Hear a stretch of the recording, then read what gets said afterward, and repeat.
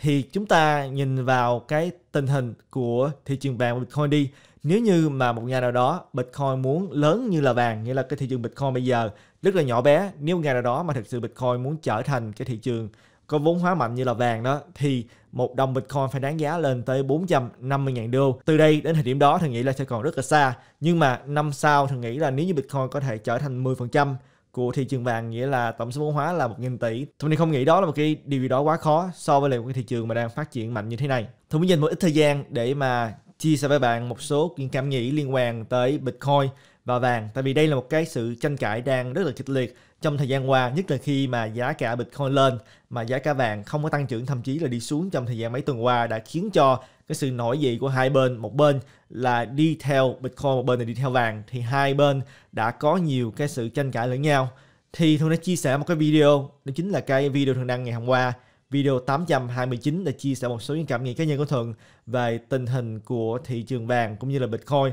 Và đối với một nhà đầu tư thì ra mà nói là thay thế từ Bitcoin với bất cứ một từ nào cũng được, miễn là có những cái tính chất tương tự, có thể kiếm được lợi nhuận thì là một mảng đầu tư tốt. Cho nên trên căn bản thì cũng không quan tâm nhiều là vàng hay là Bitcoin. Trong cái video mà thường đã chia sẻ ngày hôm qua 829 thì chỉ đơn giản là chỉ ra được cái sự khác biệt giữa đầu năm tới bây giờ sự tăng trưởng giữa vàng và Bitcoin. Và trong trường hợp nào Bitcoin tăng trưởng, trong trường hợp nào vàng tăng trưởng. Và đối với thuận thì tình hình hiện bây giờ là tình hình rất là tốt cho sự tăng trưởng của Bitcoin. Sự tăng trưởng đó có thể là còn cao hơn vàng rất là nhiều. Nhưng mà cả hai thì đều có ưu điểm và nhược điểm. Các bạn thấy được là vàng đã có từ rất là lâu, những người mà lưu trữ vàng cũng rất nhiều. Chính phủ cũng lưu trữ vàng. Tuy nhiên vàng đã có được một lịch sử lâu đời và là một trong những công cụ chống lại lạm phát cũng rất hiệu quả trong nhiều năm qua. Bitcoin thì mới hơn, chỉ là 11 năm mà thôi. Nhưng mà sự tiến triển đã rất nhanh trong cái thời gian qua cho nên thu hút được rất là nhiều những nhà đầu tư mà muốn kiếm được lợi nhuận cao. Nhưng mà cả hai đều có ưu điểm và nhược điểm cho nên không có lý do gì mà cả hai phải tranh cãi lẫn nhau và một trong những người mà dẫn đầu sự tranh cãi này là chính là Peter Schiff cái này được Peter Schiff là người mà ông ta đầu tư rất là nhiều vào trong thị trường vàng cũng như là sở hữu rất nhiều cổ phần của những công ty mà đào vàng các bạn hiểu được là công ty của Peter Schiff là ShipGo là một trong những cái công ty mà buôn bán vàng ở trên mạng và Peter Schiff thì hầu như là ngày nào mình thấy được là ở trên Twitter thì có cái ký hiệu Bitcoin hầu như là ngày nào Peter Schiff cũng nói về Bitcoin. Nhưng mà ông ta nói là ông ta không quan tâm đến Bitcoin ông ta không nghĩ là Bitcoin có giá trị ông ta nghĩ là vàng mới có giá trị. Nhưng mà các bạn cứ nghĩ đi, một người nào đó nếu thực sự là không quan tâm đến một thứ gì đó thì sẽ không nói về cái thứ đó. Giống như là các bạn đi đường đi các bạn thấy cục đá, các bạn không thể nào mà ngừng lại đi chửi cục đá. Chỉ khi nào các bạn đi, các bạn chấp phải cục đá đó, các bạn ngừng lại, các bạn chửi cục đá đó tại sao lại ở đây? Ai đi cục đá đó ở đây. Cho nên phải được là về căn bản Peter Schiff nói về Bitcoin liên tục, nghĩa là ông ta rất là quan tâm tới Bitcoin. Nhưng mà ông ta lại nói là Bitcoin không có giá trị. Các bạn thấy được đây những cái mâu thuẫn. Cho nên khi mà các bạn nhìn vào những cái thông tin là ai đó nói xấu về một cái gì đó mà cứ nói xấu liên tục, nghĩa là người đó rất là lo sợ về cái điều đó. Người đó đang rất quan tâm đến cái điều mà ông ta đang nói tới. Cho nên các bạn thấy được là ngay cả Peter Schiff thì trên ShipGo các bạn vẫn có thể mua vàng trên cái trang web của Peter Schiff bằng cách là sử dụng Bitcoin để mà mua. Các bạn thấy được là các bạn có thể dùng Bitcoin để mua vàng trên trang web của Peter Schiff. Thì trên căn bản, nếu như mà Peter Schiff không nghĩ là Bitcoin có giá trị, thì tại sao lại có thể chấp nhận người ta mua và thanh toán bằng Bitcoin? Thì Peter Schiff nói là công ty ông ta khi lấy Bitcoin rồi là sẽ nhanh chóng chuyển Bitcoin ra thành tiền mặt.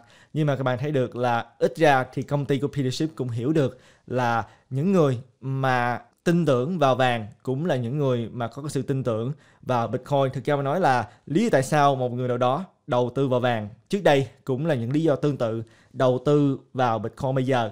Tại vì các bạn thấy được là cả hai tuy là bây giờ đã có hai cái sự suy nghĩ khác nhau, tin tưởng vào hai cái tài sản khác nhau, nhưng mà bắt nguồn thì cũng tương tự mà thôi. Trước đây người ta đầu tư vào vàng, tại vì vàng không bị khống chế bởi một quốc gia nào. Đó là một cái loại tiền tệ mà quốc gia nào cũng sử dụng. Thay vì sử dụng tiền pháp định thì bao lưu trữ vàng vàng có thể được chấp nhận mọi nơi nhưng mà bây giờ các bạn thì được có bitcoin thì bitcoin tiện lợi hơn, cho nên nó thu hút được rất nhiều người và giá cả của bitcoin đã khiến cho rất nhiều người quan tâm đến và thu hút thêm nhiều người vào trường bitcoin và sự thật thì các bạn thấy được là cái số lượng tiền mà đang nằm trong vàng bây giờ. Số lượng tiền đó thực sự là đang bị hút bớt bởi bitcoin, cho nên những người mà quan tâm đến vàng thì nếu như mà không bitcoin thì họ sẽ cảm thấy là họ đã bị thiếu sót một gì đó, cho nên sẽ tìm cách để mà tấn công Bitcoin. Nhưng mà khi mà những người mà tin tưởng Bitcoin, như bản thân Thuận mà nghe một ai đó tấn công Bitcoin thì thường thường hay có một cái phản ứng là phải cãi lại và phải chỉ ra được là trong cái suy nghĩ của ta đã có những cái suy nghĩ sai lầm như thế nào.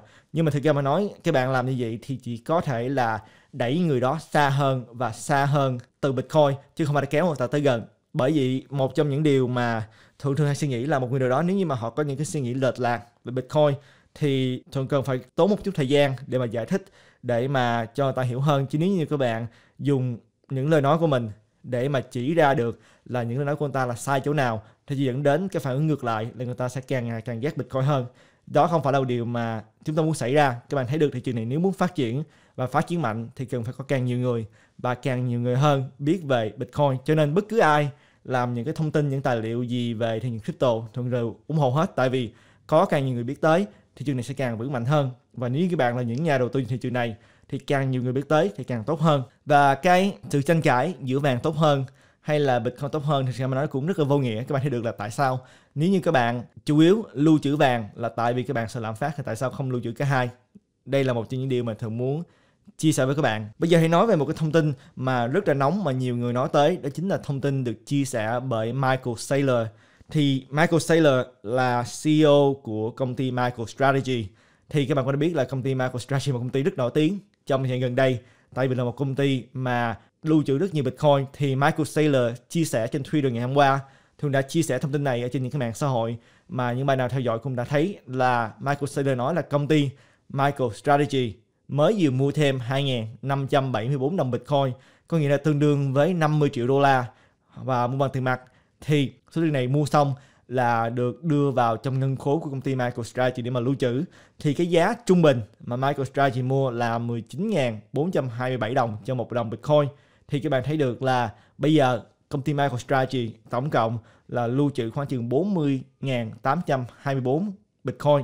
Có nghĩa là các bạn thấy được là chúng ta nhìn vào cái tình hình hiện bây giờ thì 40.824 Bitcoin thì đáng giá khoảng chừng là gần 1 tỷ đô la. Và đây là một cái biểu đồ rất là thú vị. Các bạn thấy được là ở bên phía dưới này chúng ta thấy được cái đường màu đỏ. Đó chính là cái giá của Bitcoin, cái đường màu xanh ở phía dưới này. Các bạn thấy được đây là cái giá cổ phiếu của công ty MicroStrategy thì rất là thú vị, các bạn thấy được là công ty MicroStrategy lưu trữ Bitcoin và cái lợi nhuận có được từ lưu trữ Bitcoin còn nhiều hơn là cái lợi nhuận có được từ kinh doanh công ty MicroStrategy trong vòng hơn 3 năm qua và giá Bitcoin càng lên cao thì các bạn thấy được là cổ phiếu của công ty MicroStrategy càng lên cao hơn.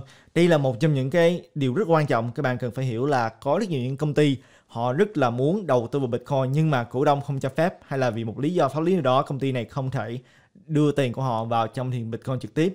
Nhưng mà các bạn thấy được là công ty MicroStrategy hầu như bây giờ đã trở thành một công ty lưu trữ Bitcoin. Mà Bitcoin lên giá thì cổ phiếu của MicroStrategy cũng lên giá theo.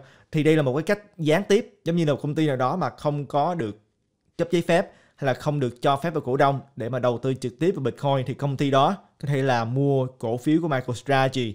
Tại vì công ty MicroStrategy này cổ phiếu tăng, khi mà giá Bitcoin tăng thì đây là một cách gián tiếp để mà đầu tư vào thị trường. Bitcoin.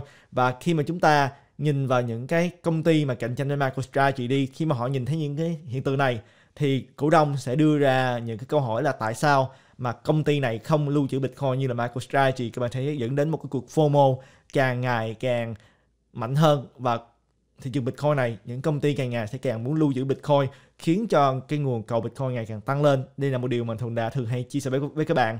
Và thường thì nếu như muốn được thông qua bởi cổ đông để mà lưu trữ Bitcoin đó, thì thường phải tốn 3 tới 6 tháng có nghĩa là trước đây khi mà MicroStrategy mua Bitcoin đó là tháng 8 thì chúng ta dự đoán là khoảng chừng là trong quý 1 của năm 2021 sẽ có nhiều công ty được thông qua để mà mua Bitcoin hơn. Và nhiều bạn nói là khi mà thường tung ra cái thông tin này, thì có thể là đây là một cái thông tin mà họ đã mua lâu rồi, và làm sao chúng ta kiểm chứng được là họ thực sự mua 50 triệu Bitcoin với cái giá là 19.427 thì một trong những điều mà có thể là những bạn nào mà không có theo dõi những cái công ty ở trên thị trường chứng khoán của Hoa Kỳ thường xuyên thì không có hiểu, đó chính là những công ty mà trên thị trường chứng khoán đó thì phải gửi những cái thông tin đến cho SEC như là ban quản lý chứng khoán của Hoa Kỳ.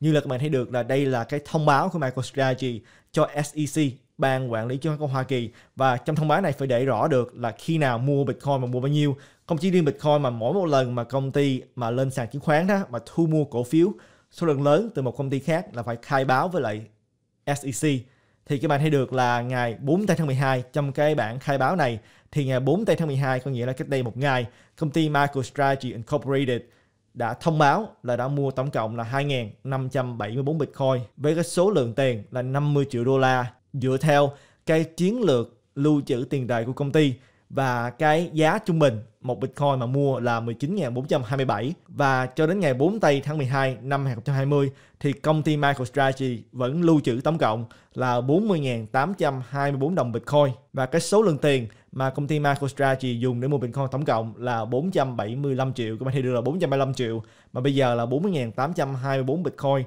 là đáng giá gần 1 tỷ đô la. Có như là lên con số cực kỳ cao đã lời hơn 100%. Thì các bạn thấy đây là cái thông báo của công ty MicroStrategy với SEC, ban quản lý chứng khoán của Hoa Kỳ. Cho nên cái bản 8K này nếu như mà khai gian thì sẽ dẫn đến là các bạn có thể đi tù. Cho nên không phải là một chuyện dẫn chơi. Còn công ty họ sẽ không có dám khai gian với lại SEC. Cho nên việc mà công ty MicroStrategy mua cái số lượng Bitcoin này với cái giá này là một sự thật. Một trong những điều chúng ta không biết là Michael Saylor ông ta tự mua Bitcoin cho bản thân ông ta là mua ở cái giá nào. Sau đó mới đẩy tin này ra. Các bạn thấy đây là một trong những điều mà chúng ta không có biết. Nhưng mà chúng ta cũng sẽ tiếp tục theo dõi. Đây là những cái thông tin rất là quan trọng liên quan đến cái sự chấp nhận Bitcoin trong cái thế giới tài chính truyền thống.